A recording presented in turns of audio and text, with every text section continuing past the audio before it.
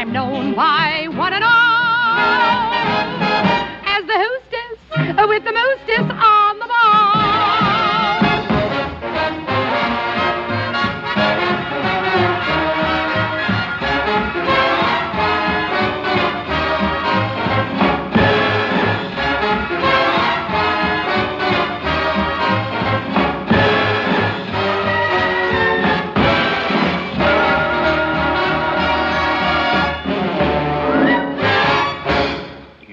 Probably the first time that a foreign minister ever kissed an ambassador. We've made history.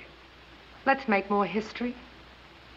Yes, indeed. Make history she did as this lusty Madam Ambassador blazed a trail of laughter, light-hearted love, and glorious song from the gossip-filled rooms of Washington to the intrigue-filled ballrooms of Lichtenburg. Kenneth, uh, Prince Hugo has been making very bad threats about what he would do to you if we met again.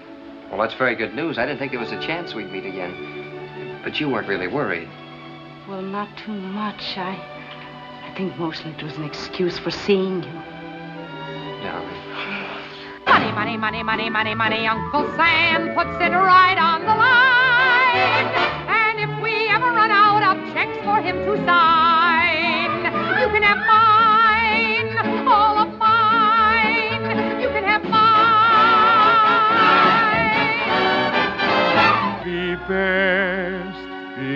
thing for you Yes? would be me.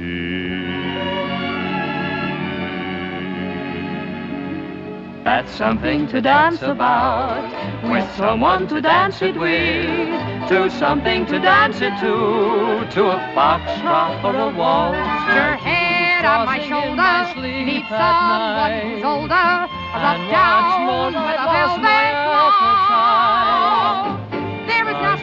nothing you can pay to relieve that pleasant pain. You're not sick, you're just in love.